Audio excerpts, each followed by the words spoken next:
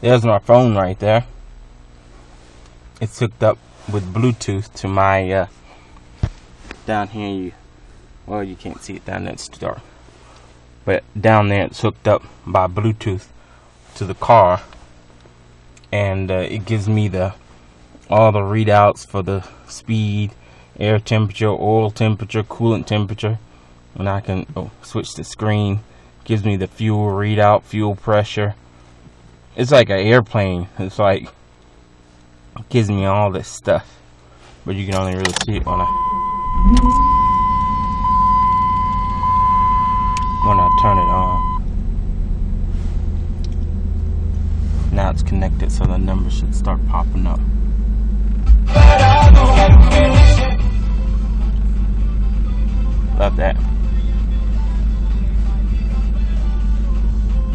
It's scanning right now.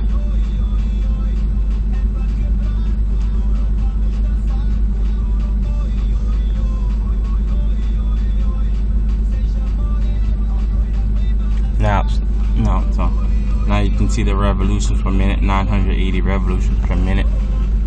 The coolant level.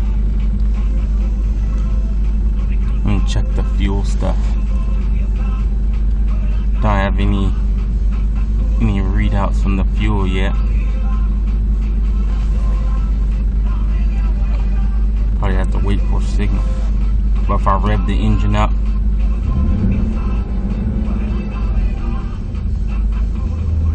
went up to 1600 RPM. Coolant level is getting warmed up over there. You can see it steadily going up over there.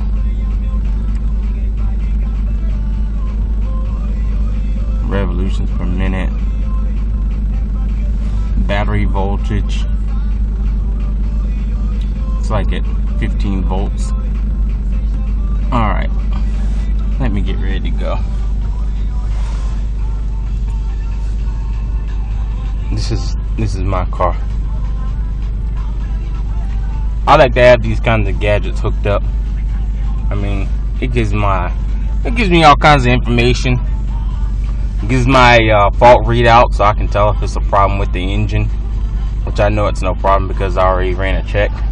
No codes came back. I like this song. I have to hear this again.